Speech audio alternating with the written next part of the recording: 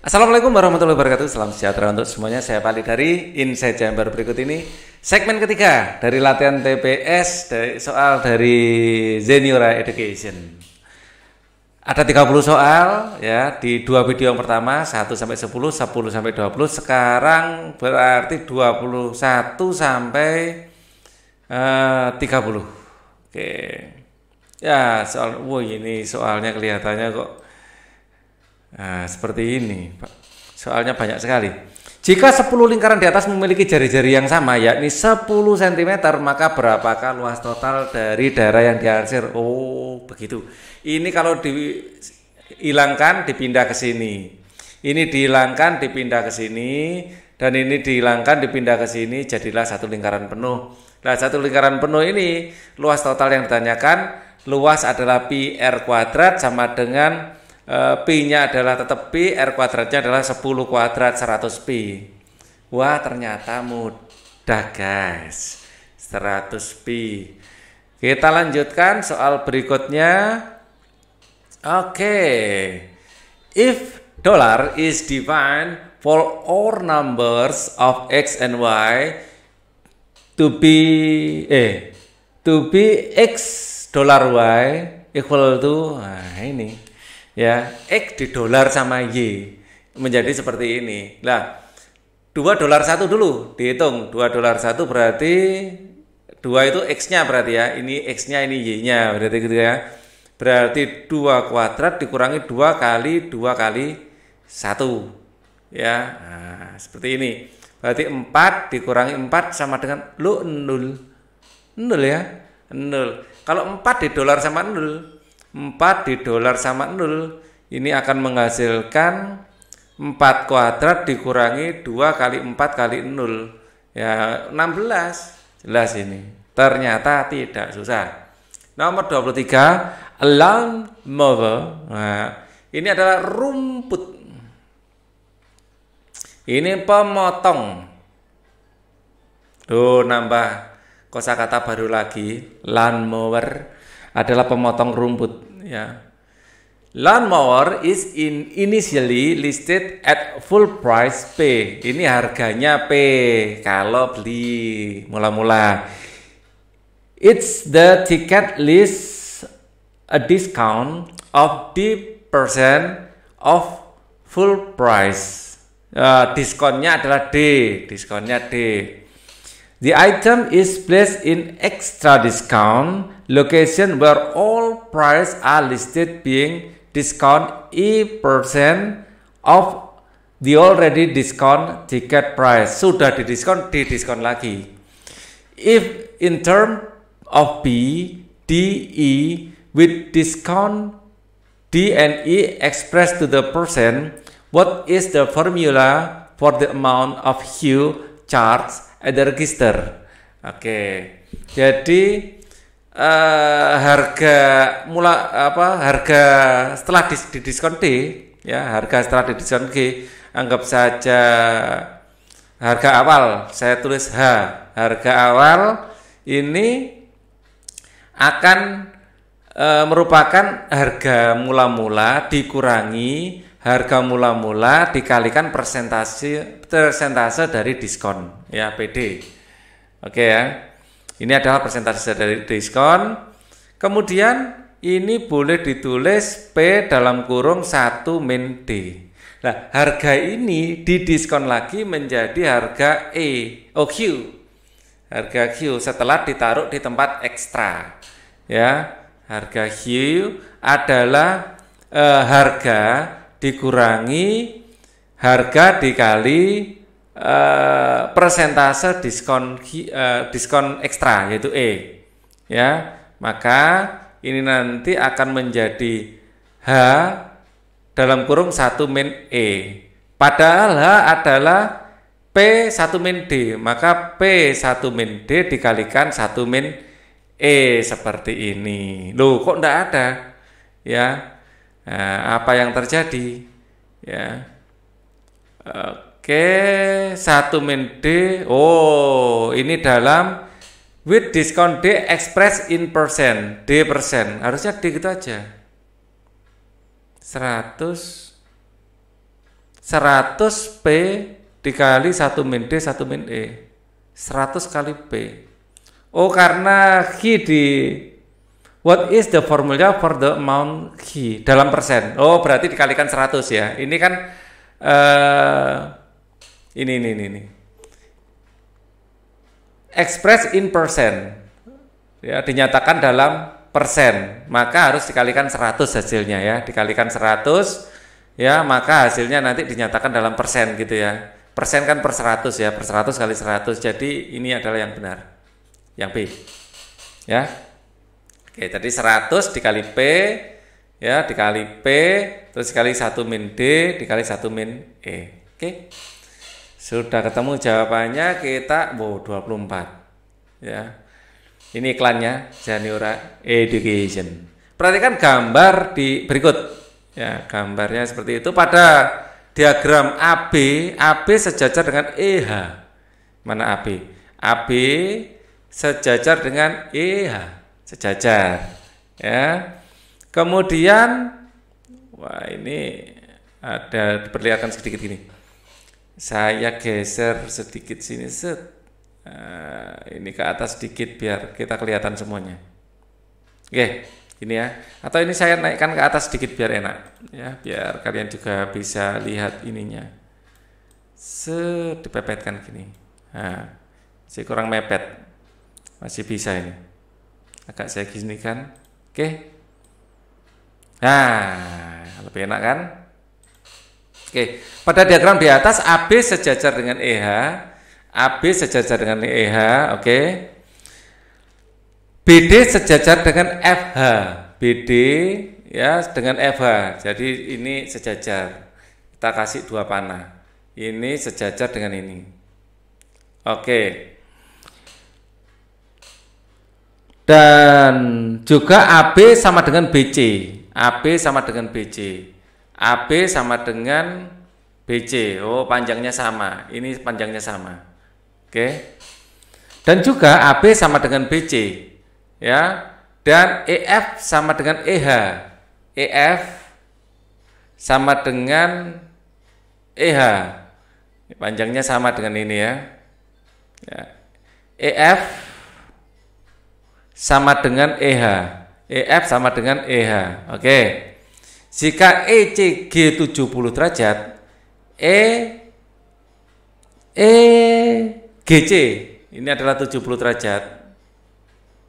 Oke, 70 derajat, maka sudut D adalah yang ditanyakan adalah sudut D. Saya gunakan biru, sudut D ini yang ditanyakan. Wow.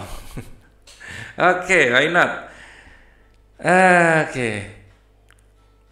Sudut D yang tanyakan ya. Merepotkan juga ini. Oke, kalau ini 70 ya ini sejajar. Ini sejajar dengan ini ya. Kalau ini 70 kalau ini saya kasih anu saya kasih garis bantu ke sini di sini juga 70 berarti di sini juga 70 di sini 70 70 di sini juga 70. Ini kan uh, sama kaki. Kalau di sini 70, di sini juga 70. Oke, saya pakai warna coklat sekarang. Kalau gitu di sini juga 70. Ya, di sini juga 70. Warna tetap ini aja. Uh, biru. Ini juga 70. Terus apa lagi? Uh, yang ditanya sudut D. Terus kalau ini sama ini sama kita intinya sudut coklat di sini harus sama dengan sudut di sini karena sama. Ini oh bukan bukan bukan bukan bukan. Sudut ini sama dengan sudut ini. Ya, yang sama kan EF dengan EH. EF dengan EH. Sudut ini sama dengan sudut ini. Gambarnya aja nggak sama, tapi sebenarnya sama karena keterangannya ya. EF sama dengan EH. Oke. Kalau gitu kita harus mencari ini. Nah, sudut EH ini karena ini dan ini sejajar, itu akan sama dengan sudut ini. Ya, sudut ini sama dengan sudut ini. Ini keduanya kan eh, sebentar. Su, ini satu panah, ini satu panah, ini kan sejajar ya. Terus ini dua panah, ini dua panah juga sejajar. Artinya sudut coklat ini sama. Sudut ini sama, sama. 70 tambah 70 adalah 140. Ya, kalau ini besarnya ya 180 dikurangi 140 jadi 40. Besar ini 40, maka besar ini juga 40, besar ini juga 40. Kalau ini 40 40 tambah 800 eh 80. 40 tambah 40 80 berarti ini 100. Kalau ini 100 berarti di sini adalah 80. Kan lurus 180 ya. 80. Ya. Ini 70 tambah 80 150. Tambah 70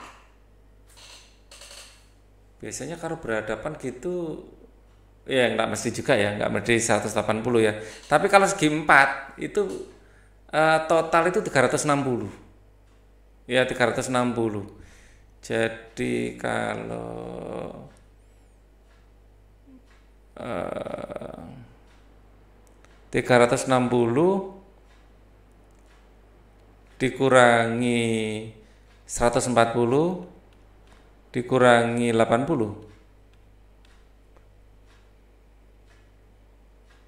eh dikurangi eh. 360 dikurangi 140 dikurangi 80 140 ya? Ada nggak jawaban 140 360 eh kalau segitiga 180 kalau segi 4 enggak selalu ya enggak selalu enggak selalu bisa saja segi 4 itu ini enggak selalu enggak selalu. Mungkin. Ini 140 uh, atau ini 70 70 ininya saya cari kecabangunan yang lain. Coba kalau ndak ada mungkin saya lewatin dulu aja ini. Ya yang sudut yang lain semua sudah ketemu ininya yang belum. Clue-nya di mana ini? Ini sejajar dengan ini. Oh I got it. Ya karena ini sejajar dipanjangkan. Bukan gitu ini dipanjangkan. Ini dipanjangkan. Kalau ini dipanjangkan, ini dipanjangkan, ya dipanjangkan, sudut ini akan sama dengan sudut ini. Karena ini 40, berarti ini harusnya adalah 180 kurang 40 140 lah benar 140 ini harusnya 140 nah tidak ada jawabannya berarti. Ya saya ulang dari awal ya. Saya ulang dari awal. Jadi harusnya 140 ya benar tadi ya. 140 harusnya. Saya tidak ada ya. Nah, di sini angkanya kecil-kecil. Saya ulang lagi ya biar clear semuanya. Dari diagram di atas AB sejajar dengan EH AB de, dengan EH. Di sini saya coret AB, di sini adalah sejajar dengan EH. Berarti ini satu panah. Oke, clear. Uh, eh, BD sejajar dengan FH. BD dengan FH. Kita lihat BD, BD dengan FH. Oke, clear ya dan juga AB sama dengan BC AB sama berarti ini segitiga sama, sama kaki EF sama dengan EH E ke F sama dengan E ke H ini juga segitiga sama kaki kalau segitiga sama kaki sudut ini dan ini harus sama ini namanya sama kaki sudut ini dan ini harus sama kalau ini dan ini sama oke okay? clear yang ditanya adalah sudut D ya yang diketahui yang pertama adalah eh, EGC adalah 70 di sini yang diketahui pertama yang merah itu. Kalau ini 70 ya. Nah, kita lihat garis EH dengan garis AB sama. Kalau sama di sini 70, di sini pun harus 70, kan gitu kan? Nah, sama-sama nah, 70. Kalau di sini 70, di sini juga 70. Karena ini segitiga sama kaki, kakinya yang sama adalah kaki yang ini dengan yang ini, maka ini juga harus 70. 70 tambah 70 140 tambah 40 jadi 180 pas. Ya. Kalau ini 40 karena di sini adalah sejajar DB sejajar dengan FH, maka di sini 40, di sini juga 40. Ya, ini dengan perpanjangan. Ya, dengan perpanjangan. Ini adalah sejajar garisnya. Oke. Ini sejajar, ini sejajar dengan ini, ini sejajar dengan ini. Ya, pasti menghasilkan sudut yang sama. Keduanya ini sejajar. Oke. Kemudian eh, kalau ini 40, ini 40 karena segitiga sama kaki. Ya kalau ini 40 40 kan 80 berarti ini harus 100. Kalau ini 100 ini harus eh wait a minute. Nah, ini harus 80. Kalau ini 80 kita pakai 40 tadi karena sejajar mana? Ini ya kalau ini 80 ya, terus kemudian eh, kalau kita perpanjang, saya perpanjang pakai hitam sekarang. Nah, ini kalau saya perpanjang, ya sudut ini kan 40. Kalau ini 40, maka ini adalah garis lurus toh. Nah, ini pelurusnya harus 140 karena kalau 140 tambah 40 kan 180. Nah, sudut ini itu pasti sama dengan sudut ini karena ini sejajar dengan ini. Ya. Ini sejajar dengan ini, di sini garis sudut ini pasti sama ini. Sahadap namanya sudut sahadap ya jadi jawabannya tidak ada.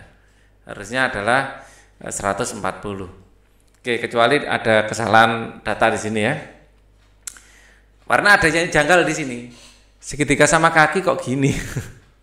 Ah misalnya ini salah ketik misalnya ya. Misalnya ini uh, asumsi salah ketik saya pakai ungu kalau dari gambar yang sama ini dengan ini, kalau dari gambar yang sama ini dengan ini, misalnya ya, ini sama ini sama, ya, berarti ini kita tadi kan di sini 40, di sini dapat dari ini sama ini 40, kalau ini 40 harusnya ini 40, ya, kalau ini 40, di sini 40, di sini yang misalnya di sini yang 40 ya, 40 di sini 40, 80 berarti ini harus 100 di sini harus 100. Kalau di sini 100, kalau ditambahkan 40 tambah 40 tambah 100 180. Karena ini 100 ini harus 80. 80. Kalau ini 80 di sini juga 80. Ini pantas gambarnya. Nah, 80 ada. Berarti soalnya yang keliru. Ya, yang sama panjangnya bukan EF dan EH, tetapi yang sama adalah EF dengan FH. Nah, ini salah ketik. EF dan kalau ini dibetulkan ada jawabannya. Jadi EF sama dengan FH. Ini baru ada. Oke? Dengan logika bahwa di sini 40, kalau di sini 40 ini segitiga sama kaki. Di sini bukan 100, tapi di sini adalah 40. Kalau di sini 40, 40 tambah 40, 80, di sini harus 100. Kalau di sini 100, di sini harus 80 ya. Karena kalau jumlah harus 180, di sini 80, sini juga 80 bukan 140 maka ada. Jadi salah ketik ya. Positif ini. Karena gambarnya pantas juga kalau panjangnya ini sama ya, pantas gambarnya. Ini sama pantas ya. Kalau ini dengan ini yang sama nggak pantas. Oke. Nomor 25 sekarang. Panjang ya ada, ada acara salah ketik. Jika X dan Y bilangan bulat positif ya. Kalau ada seperti ini langsung aja kasih tanda positif biar nggak lupa. Ya. Jika X dan Y adalah bulat positif, dengan X merupakan faktor dari 10, berarti alternatif dari X ini adalah faktor dari 10 bisa 1, bisa 10 ya, bisa 1 sama 10, bisa 2 sama 5. 1, 2, 5, dan 10 itu sendiri. Ya ada 1, 2, 3, 4, ada 4 faktor. Ya, Kemudian jika X merupakan faktor dari 10, pilihannya adalah 1, 2, 5, 10 dan Y merupakan faktor dari 12. Kalau faktor dari 12 pilihannya Y ini bisa 1 dengan 12, 12-nya sendiri bisa 4 dan 3. Ya. Bisa 1, 4, 3 atau 12 itu sendiri. Semua bilangan berikut yang bisa menjadi nilai dari XY kecuali X kali Y. Ya, X kali Y satu bisa, satu kali satu. Bisa empat. Bisa. Empat itu bisa dari empat itu sendiri atau dua kali dua. Ya, di sini dua, di sini. Uh, Oh, tidak bisa, ini tidak bisa. Ini tidak bisa. Di sini 1, 4, 3. Oh, 4 kan 2 dan 2. Ya, ini faktor juga masih bisa. 2 kali 2, 4 bisa. Kenapa tidak? Bisa ini. Di sini 2, di sini 2. Ya. 15, 15, 3 kali 5 bisa. 36. 36 bisa 12 kali 2 bisa ya. 12 kali 2 ini 36. Eh, 12 kali 2. Oh, enggak ada, enggak ada. 36. Kalau 40, 4 kali 10 bisa. Ini bisa, ini yang enggak bisa. Ya, kecuali 36. 36 ini berapa? Kalau 12 harus sama 3 di sini ada 3. Ya. Enggak ada, enggak bisa 36. Oke. 26. Jika M dibagi oleh 5 hasilnya, jika M dibagi 5 hasilnya 2, sisanya adalah B. 2 ditambah B. Seperti itu ya. Jadi M bagi 5 sama dengan 2 sisa B. 2 kali M. Eh, 2 kali 5 maaf. M dibagi 5 sama dengan 2 dikali 5 ditambah sisanya. Sisanya adalah ketika M dibagi 5 hasilnya adalah 2 ya. Jadi kita punya rumus gini kan Fx sama dengan pembagi dikali hasil bagi ditambah sisa. Nah, seperti itu. 2 kali 5 ditambah sisanya B. Nah, seperti ini. Ketika N dibagi 7, N dibagi 7, hasil baginya adalah 2 kali 7 dan sisanya adalah juga B. Ya. M dibagi dikali N 221 berapakah nilai dari B? Oke. Uh, M dikali N. Ya, dikalikan aja. Berarti M itu sama dengan 5 kali 10 tambah B, sedangkan N itu adalah 14 eh 7 kali 14 tambah B. Ya, 7 kali 14 tambah B. Nah, ini harus sama dengan 22. Ya. M kali N ini adalah 221. Sedangkan M kali N ya. M-nya ini adalah 5 dikali 10 tambah B dikali N-nya adalah 7 kali 14 tambah B sama dengan 221. 2 kali itu 5 kali 7 adalah 35. Coba 221 bagi 35 dulu. 221 dibagi 35. Bisa ya? Oh, nggak bisa. 221 bagi 35 dibagi 5 hasilnya 2 B ketika dibagi ketika N dibagi 7 hasil baginya 2 sisanya B jika M kali N adalah 221 berapakah nilai dari B ya jadi terpaksa 10 tambah B dikali 14 tambah B sama dengan 221 dibagi 35. Angkanya jadi tidak enak. Persamaan kuadrat ini. B kuadrat ditambah 10 kali 14, 140. B ditambah eh kok 140, 24B tambah 24B ditambah 110 140 sama dengan 221 per 35 angkanya ndak enak ini B ini ah dicoba-coba aja ya dicoba-coba lu ketika M dibagi 5 hasil baginya 2 sisanya B. Ketika N dibagi 7 hasilnya 2, sisanya juga B. Jika M kali N 2, 2 1, berapakah nilai dari B? Wah ini. Ini kalau kita masukkan B-nya di sini nggak akan bentuk pecahan. Jadi ini mungkin saya mencurigai ada yang salah juga di sini. Ya 221 dibagi 5 kali 7 kan 35 ya. 35 221 221 dibagi 35. Misalnya salah ketik, pilihannya 211 mungkin. 211 dibagi 35. Nggak bisa juga. Ini kalau dimasukkan pasti nggak akan menghasilkan 225 per 35. Pasti hasilnya. M ini, ah iya di sini harusnya saya kalikan 5 di sini bukan B tapi 7B 7 5B ya ini masih keliru saya. Kalau limanya saya kalikan ke sini ini kan oh limanya di luar kok ya. Limanya di luar. Tetap 5 tambah 10B 7 14B.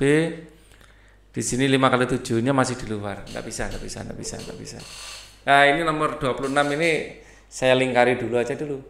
Ya, saya belum dapat ide ini. Ya nanti kalau ada ide nanti akan saya tambahkan.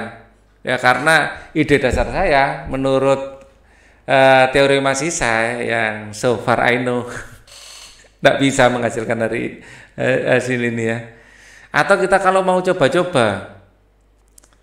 Dua dua satu. Ini bisa dibagi enggak ya? Dua dua satu.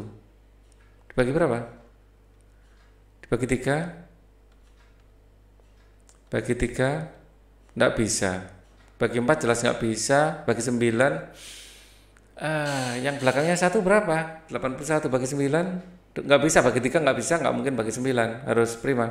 Bagi tujuh dua dua satu bagi tujuh nggak bisa bagi berapa?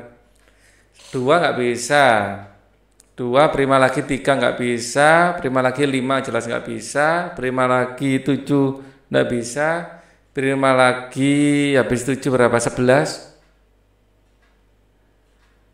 221 bagi 11 bisa Oh mungkin 112 ya. 112 dibagi 11 Atau Gak bisa. 11 gak bisa 13 bagi 13 Oh 13 dan 17 bisa ya 13 kali 17 13 kali 17 coba kok ada 13 kali 17 uh 13 kalau dibagi sebentar, sebentar, sebentar, sebentar, sebentar. Saya menemukan ada ide ini. Uh, eh, 13 kalau dibagi lim, dibagi 7 7 kali 2 14 kalau dibagi 5 sisa loh sisanya B. Bagi 5 hasilnya 2 13 bagi 5 hasilnya 2 sisanya B. Kalau gitu B nya adalah 3 ya kan? Oke. Kalau, kalau dibagi 7, 17 dibagi 7, hasilnya 2. 7 kali 2 kan 14. 14 sisanya juga oh 3. Iya ya. Yes. Akhirnya menemukan 13 dan 17. Berapakah nilai B? 3. Oh my god. Dengan cara coba-coba akhirnya dapat. Setelah hampir saya menyerah. 13 kali 17. Oke, tapi kalau dengan cara ini kok nggak bisa ya? Mungkin saya ada yang nggak teliti, ya saya koreksi nanti aja lah. Perkaliannya aja saya pastikan. Di sini 5, 2 kali 5 10, 2 kali 7 14. Di sini adalah 7. 14 tambah B 5 7 2 2 1 di sini kan harusnya 10 tambah 3 14 tambah 3 Nah, 5 dan 7-nya ini. Oh ya ampun, saya lupa nggak perlu 5 dan 7-nya ini. Ya, di sini saya melakukan kesalahan. Ya, seharusnya ini nggak usah ada 5 di sini, nggak usah ada 7 di sini. Ya, di sinilah saya melakukan persamaan yang keliru. Seharusnya 7-nya ini nggak usah, 5-nya nggak usah, seharusnya baru ini ketemu nanti. Ya, nah bukan teori sisanya yang salah. Kenapa kok saya bagi lima? Saya kasih angka dibagi lima, tidak perlu. Nah, di situ ya Pak Ali salah. Ya, jadi akhirnya paling tidak aku tahu lah salahnya di mana. Ya, harusnya ini bisa. Jadi 10 tambah B ya, di sini 14 tambah B 221. Harusnya kan gitu toh. Ya. Maka ini jadikan persamaan kuadrat tapi memang agak lama ya. B kuadrat ditambah di sini 24B ditambah 140 sama dengan 221 kan gitu. Ya 221 di sini B kuadrat tambah 24B tambah 221 kurangi 140. Eh ini dikurangi ya. Harusnya gitu. Tapi bukan kalau nggak cara coba-coba ya. 221 dikurangi 140. 81 eh min 81 min 81 sama dengan 0 nanti pasti dapatnya adalah e, B nya 3 ya. Nah, seperti ini. Ya. E, ini B ini B 27 plus 27 min 3 B sama dengan min 27 B sama dengan 3 lah ketemu ya B nya adalah 3 gitu loh sama min 27 nah adanya 3 oke. Bukan salah prosedur bukan cara rumus. Wong rumusnya di sini loh ndak ada PX nya seharusnya kan sudah benar rumusnya tapi Pak Ali salah di awal. Oke maaf ya. Next nomor 27 paling enggak tahulah salahnya di mana. 27 jika A sepertiga B dan B 4C maka pernyataan A min B plus C dalam bentuk C oke. Jadi dalam bentuk C ya A min B plus C sama dengan A nya itu jadikan C. Jadikan B dulu. A nya jadikan B A sepertiga B. 1 per 3 B dikurangi B tambah C ya. Ya ini sama dengan gini ya sama dengan ini terus sama dengan eh, sepertiga tambah dikurangi B 1 per 3 B dikurangi 3 per 3 B tambah C. Di sini adalah min 2 per 3 B tambah C.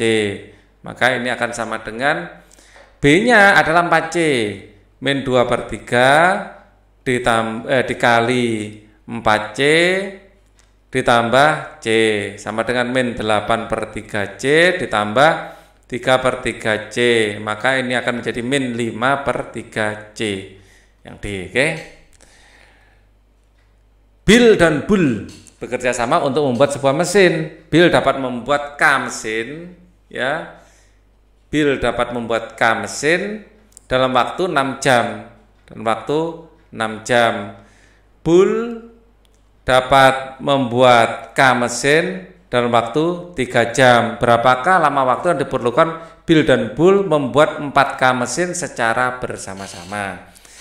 Kalau membuat K mesin secara bersama-sama, kalau membuat K ya, kalau membuat K secara bersama-sama satu per waktu ya sama dengan satu per waktu bersama ya Bill dan tambah satu per waktunya Bull maka satu per waktu bersama sama dengan satu per enam ditambah satu per tiga sama dengan eh, satu per enam tambah dua per enam satu per enam tambah dua per enam sama dengan tiga per enam maka waktu bersama sama dengan enam per tiga sama dengan dua. Ini untuk membuat K mesin untuk membuat K untuk 4K maka 4 dikali dua ya. Ini dimasukkan ke sini duanya sama dengan 8 jam. Nomor 29 jika seper X tambah dikurangi 1 per 6 Y sama dengan 1 per 6 dan Y per Z sama dengan 1 per 2 maka berapakah nilai berikut ini? Nilai 3X min Z. Y ini jadikan Z saja.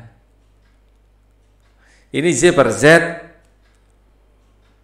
Minta 3x per z oke okay lah. Y-nya jadikan z aja. Berarti y sama dengan 1 per 2 z ya kan berarti 1 per 4 x dikurangi 1 per 6 dikali 1 per 2 z sama dengan 1 per 6 maka 1 per 4 x dikurangi 1 per 6 6 kali setengah. Seper 12. Z sama dengan 1 per 6. Semua kita kalikan dengan ya semua kedua ruas kita kalikan dengan biar jadi kita kalikan dengan 12 ya. Maka ini akan menjadi 3x dikurangi z sama dengan 2 nah, 2 adalah jawabannya. Nomor terakhir. Nomor terakhir. Oke. Sekarang saya pakai merah lagi aja. Diberikan waktu ekspresi yang menunjukkan sebuah selang waktu suatu kejadian.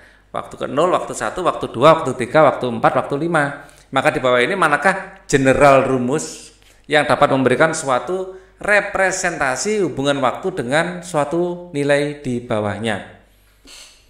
Rumus waktu 0, waktu 1, waktu 2, waktu 3, waktu 4, waktu 5. Ya tinggal anu aja. Waktu 0 1000 kalau dua dipangkat nol seribu. Ini benar semua untuk waktu ke nol kecuali ini. Jadi E ini jelas salah. Tidak usah kita perhitungkan. Semuanya benar. Ya, untuk waktu satu 500. Ya, 500, 500. Nah, ini, ini, ini yang benar. Setengah kali 1500. Ini kelihatannya C. Waktu dua Berarti setengah kuadrat seperempat seperempat dari AS jelas. Seperempat dari 1000 adalah 250. Waktu 3 seperdelapan dari 1000 adalah 125 sudah jelas C. Oke, ini nomor 30. Kita akan berjumpa lagi pada pembahasan yang lain. Tadi untuk latihan ini sudah dinyatakan beres. Thank you for watching. Wassalamualaikum warahmatullahi wabarakatuh.